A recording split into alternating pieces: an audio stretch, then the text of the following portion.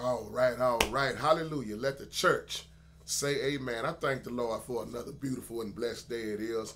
I hope and pray that everybody is doing well. Um, going just another step deeper, and I'll be through with um, these videos about hell and the lake of fire and the difference. And um, I guess this will be a part three or part four. And like I said, I'll be through after this because the last one I did, um, there was some comments made on there uh, with my girl Kathy, and she made a statement um, about we all going to hell, going to the grave, and um, I understand the comment, and um, she knows the true meaning of what hell really is, the grave. And Sister Kathy, if you're looking at this video, big shout out to you. Um, I saw where y'all was going back and forth, you and um, 719 police or whatever.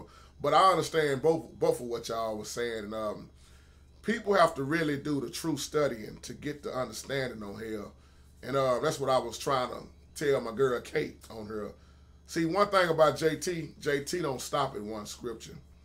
You know, when they, when I talk about hell, I don't just I don't I don't stop at the rich man and Lazarus because when it says the, the rich man, you know, lifted up his eyes and he was in Hades, which was hell. And the reason I want to do this video because now I want to tie it in with Revelation which means to reveal. And this will give you another true understanding on why JT says what he says about hell being a common grave. Now, when you look um, in Revelation, going back to John and his vision, on the day he was taken up in the spirit of the Lord. And let me say this too about Revelation. If you don't catch that first part right there, you got a lot of debating about that, but check what the Bible says. John wasn't taken up, you know, physically somewhere to this place. John was on the island of Patmos when he was recording everything, and it said he was taken up on the spirit on the day of the Lord. So he was in visions. Just like if you at church or if you in your home, you feel in the spirit, you caught up in the Holy Ghost, can't nobody tell you nothing about that really because that's personal. I mean, tell you about what was going on with you and God in so many ways because it's personal. So you have to catch that in Revelation. John was taken up in the spirit on the Lord's day. So, like I say, when you go back to Revelation and you look at um, the fifth seal, around about the time the fifth seal was open. Now, remember, Revelation deals with past, present, and future. Just try to do a little bit more teaching. This is why I try to rightly divert, uh, excuse me, rightly divide the word, people. I can't just stop at one thing.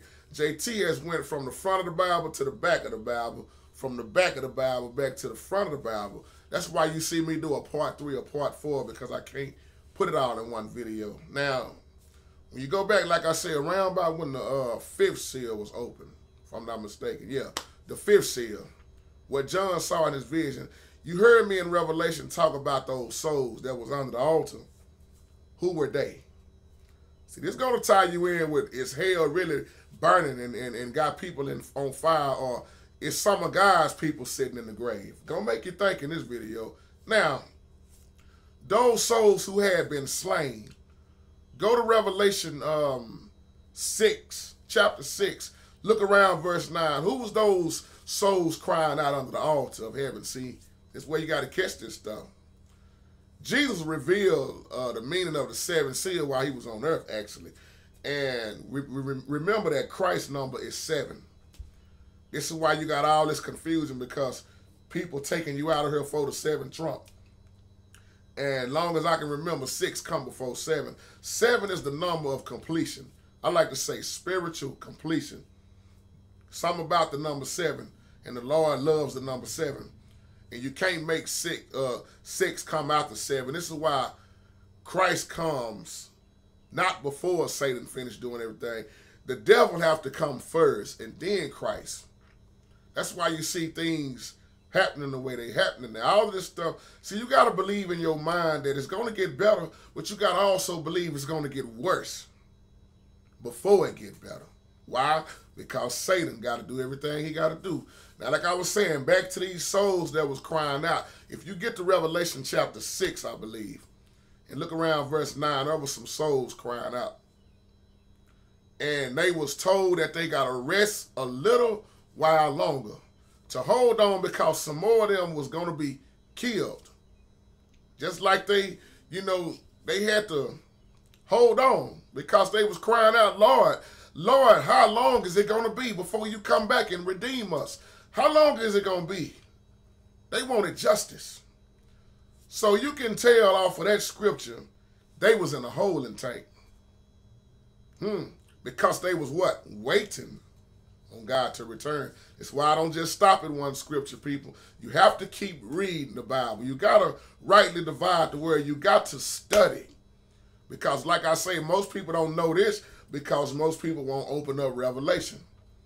They skip over Revelation, and that's why I say I don't stop at uh, St. Luke with the rich man lifting up his eyes. That's why I said Hades, hell, Sheol is the grave. And that's why I said what I said in the last video. And when you look at Revelation, these people were killed. And they had to remain in their place, their grave, whatever, they holding tank. Like my girl Grace True Teacher was saying, they have to remain there. So really, they was just simply saying, how long, Lord, will it be before you return? How long is going to be before you get those that got us? We want, we want to see revenge. They was waiting. Now, that's why I say they want to see revenge. They was crying out. The dead saints. That's why I said the rich man was alive. He could still see and he was still talking. Now, if you burning that hard, burning, burning, burning, how is it able? How is it you able to still talk? Hmm. And that's why Kathy was saying what she said in the last video about hell is the grave. See, she sees hell the same way I see hell. By hell, I can't take the word of God and change it, people.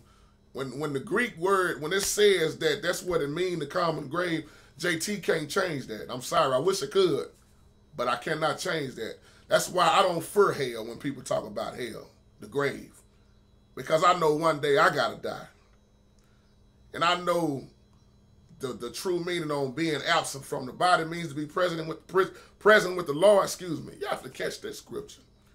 See, you might say the Bible contradicting itself just off this Revelation six and nine uh, I'm talking about because well, they was killed. They was dead. Why they wasn't, wasn't they already with the Lord? So why is it they waiting on the Lord? That's why people say Paul contradicts what Jesus say. But see, like I say, you always got to look at the long run of what Jesus say. Yes, Paul was awesome, but Paul also made mistakes. And and I always say it was either Paul made some mistake or some of these translators, they translated the stuff with their words that they chose to use, it kind of messed up a lot of stuff.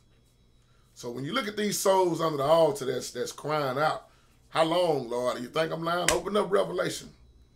So you can honestly say, were they in hell? Hmm. Or where was they at while they was waiting on Christ to return? This is why you got to keep reading, people. I'm not trying to call nobody dumb or nothing. I'm just saying JT don't stop at one scripture. JT goes through the whole entire Bible, and I love it because that's what the Bible told us also. Search the scriptures. If you're not sure about something and, and you need to pray about it and tell God to reveal it to you, show you in the spirit. That's what God do with me. That's why a lot of people won't agree with a lot of stuff I say because God shows me in the spirit. I don't just get in the Bible and open up and start reading. I pray, Lord, take me there. Take me where you want me to go. And I do a lot of studying, people. Not not to say that I'm all of that, but I do a lot of studying. I'm talking about hours and hours and hours. I love the Word of God because He told me to spread it. How can I spread it if I'm not studying it? That's why when you see me do these part threes and part fours, I'm getting you to look at it another angle. Revelation 6 and 9 teaches you about these souls that was crying out. That's why uh, I could understand, and I agree fully with what Sister Kathy was saying um, about hell because somebody asked me a question. Why would that sister make a a remark like that? Um, because she was telling the truth. I know most people don't want to hear that. That's why I said in the last video when people tell me to go to hell, I tell them I see you there. I see you there because I know I know what hell is. People all their life been talking, but you go to hell. You know, you burning, you burning, you dead. You, I mean, you you can't get out of that. Such such this. Oh man, that's why I go deep and tell you that hell will be judged. That's why I say you can look at this holding place, the dark place, the grave. These people was not with Christ. They was crying out, waiting, and wanting. They wanted to know how long it was going to be before Christ came back and redeemed them.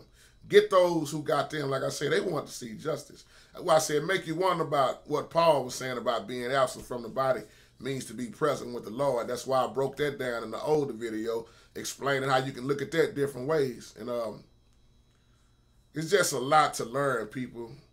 So now you can see the difference when I talk about hell and the lake of fire. That's why I said, let me say this again in this video. If hell is torment like y'all, like a lot of people like to say it is, and people are really on fire and burning like that, then people are going to get a, a, a double judgment. And that means that they burning like hell right now. And then when hell is when when it's judged by Jesus in Revelation, like it says, that means they're going to get a double judgment and be cast in the lake of fire too. So he's going to take them out of fire and put them in some more fire. No, I, I don't see that, people. I'm sorry. I just can't agree with that. That's double judgment. That's that's too much. That's why I said when you look at the physical place of lake of fire, that is eternal. Hell, Hades, the grave, will be judged. Jesus said, I'm going to lift it up and I'm going to judge it. And those whose name is not in the in the book of life, they are not going to inherit the kingdom. So that's why I talk about the difference of hell. These people in Revelation 6, they was in hell. And those were saints. Uh-oh. I just said something. Yes, those were saints. Where else was they? Where else were they at? Anytime you are not with Christ, listen to what I'm saying. You are not with Christ. Then, where are you? That's your holding place. Until Christ say, come on in. Come on in, faithful servant. Now it's time to come on in.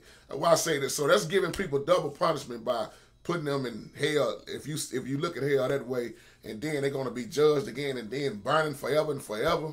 Now I don't I don't see that people, but that's just me. That's how I look at it. Somebody else might look at it different. So and it's all good. Ain't nothing wrong with disagreeing. I tell people that all the time. That's why I said when I look at the rich man and Lazarus, that part about torment, you have to look at that in the spirit also because he was messed up because he wasn't where Lazarus was. And he could still see. He could still talk. I told y'all in the old old video, that gulf, I explained about the gulf in between that that that he couldn't go where they was at. And it was still possible for him to be saved because he wasn't in the lake of fire. He was only in his grave. See, that's that's going deep. Because I the Jesus they didn't say they didn't. The Bible didn't say that that man really was all that bad, but he was in his holding place, just like these saints under the altar. They wasn't in heaven yet. They was waiting to get there. They was waiting on revenge from the Lord to get those, and they're gonna see it. Hmm. So that's why I say hell, like my girl Grace Truth teacher say, whatever you want to call it, hell, Sheol. That's why I say it's the holding tank. Sheol, Hades, hell, the grave. So Sister Catherine made that statement, you know, she was telling the truth. But most people don't see it like that. I believe she said it like this, that uh, a lot of people are, we all going to hell because we all got to pass through the grave. She said, unless you are cremated, and a lot of people got got mad at that statement that she made, and that's that's all good, you know, because she understands truly what the grave is. A lot of people don't. So, and it takes studying to understand that you're not going to get it on one scripture. You got to go through the word. It's it's written again. Like I think the lake of fire is written also in uh, Matthew, Matthew, if I'm not mistaken. You got to go through the word, people. Search the scriptures, rightly divide the word. God bless you.